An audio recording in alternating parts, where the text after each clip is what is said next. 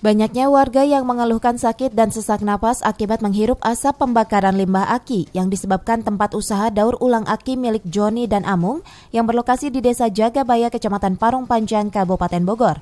Namun hal ini tidak membuat pemilik usaha daur ulang aki tersebut sadar diri.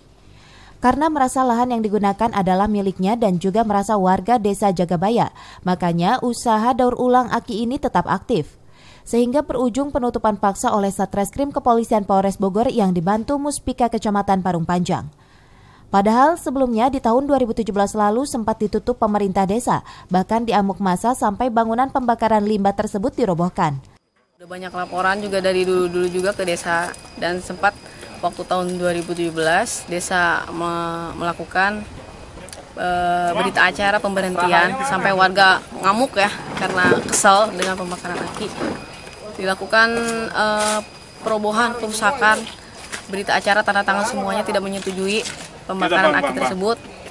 Tapi nyatanya tetap masih dilanggar karena uh, uh, ada yang punya akinya itu uh, ada yang ngerasa bahwa dirinya orang jaga baya jadi uh, saya warga jaga baya gitu. Jadi ngapain uh, ngusik-ngusik usaha di usaha uh, di wilayah saya gitu sih, Warga berharap tidak ada lagi usaha pembakaran aki di desa Jagabaya karena polusi udara dari hasil pembakaran aki tersebut sangat meresahkan warga dan mengganggu kesehatan.